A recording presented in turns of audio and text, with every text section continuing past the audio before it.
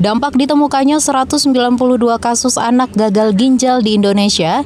Pemerintah pusat melalui Kementerian Kesehatan menghimbau seluruh apotik menyetop sementara penjualan parastamol cair atau obat sirup anak.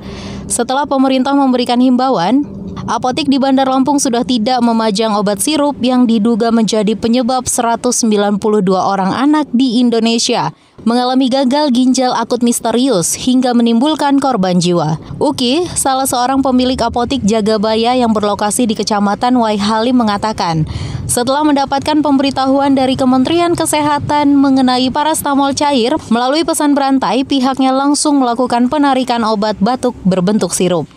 Dalam bentuk dari media ya, media sosial, atau dari himbauan dari distributor-distributor juga udah mengimbau supaya uh, yang sirup-sirup untuk tidak diperjualbelikan dulu. Melda, pemilik apotik Bambu Kuning mengaku langsung melakukan penarikan terhadap segala obat yang berbentuk cair setelah mendapatkan pemberitahuan. Karena diethylene glikol dan etilen glikol merupakan bahan baku pengecer obat cair.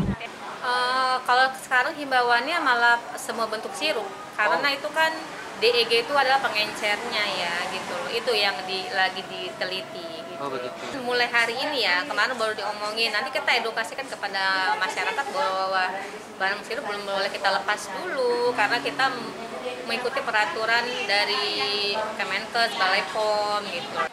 Pemilik apotik mengaku selama ini masyarakat sangat meminati penggunaan parastamol cair karena memiliki dosis yang lebih rendah dibandingkan dengan parastamol tablet. Roy, Diskursus Network melaporkan.